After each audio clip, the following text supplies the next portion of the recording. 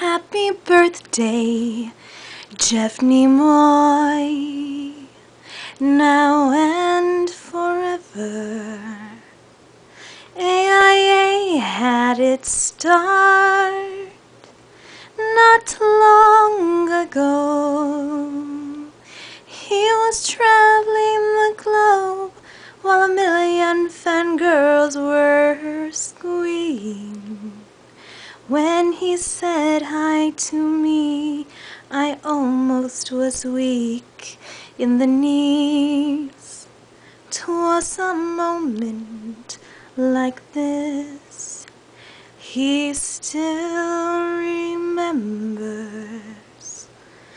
being hugged, being stalked by creepy kids.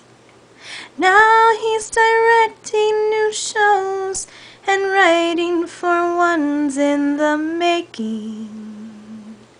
Jeff Nimoy is the man, and he'll always be loved by his fans. Happy birthday, Jeff.